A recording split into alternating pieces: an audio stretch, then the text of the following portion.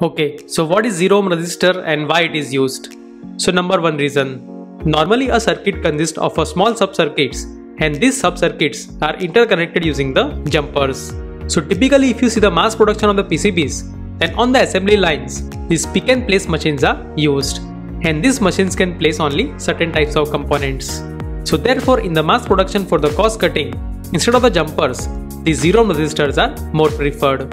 Number 2 reason.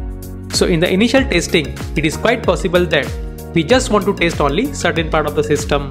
So just by simply not connecting a zero ohm resistor between the two sub-circuits, it is possible to isolate the two parts of the circuit.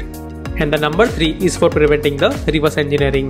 So by placing a zero ohm resistor on the certain tracks, we can mislead the others from copying our design. And if possible, one should use a zero ohm resistor with the no markings. So these are the three main reasons for using the zero ohm resistor.